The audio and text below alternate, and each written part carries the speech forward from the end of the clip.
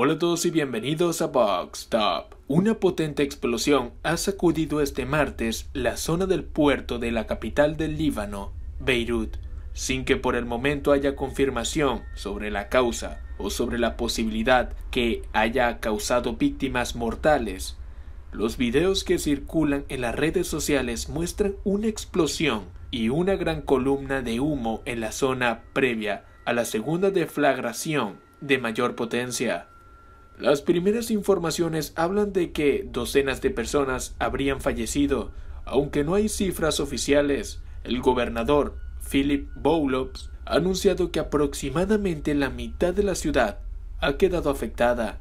Fuente citada por la agencia estatal libanesa de noticias NNA han señalado que el accidente habría tenido lugar en un sitio del puerto que acoge una fábrica de fuegos artificiales. Si bien no hay una versión oficial del suceso, las autoridades libanesas han señalado que el incidente habría tenido lugar en un silo del puerto que acoge una fábrica de fuegos artificiales.